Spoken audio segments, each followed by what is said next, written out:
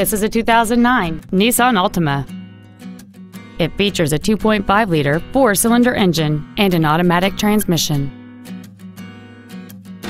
Its top features include heater vents for rear seat passengers, cruise control, front and rear reading lights, a multi-link rear suspension, four-wheel independent suspension, an engine immobilizer theft deterrent system, privacy glass, an anti-lock braking system, an external temperature gauge, and this vehicle has fewer than 34,000 miles on the odometer.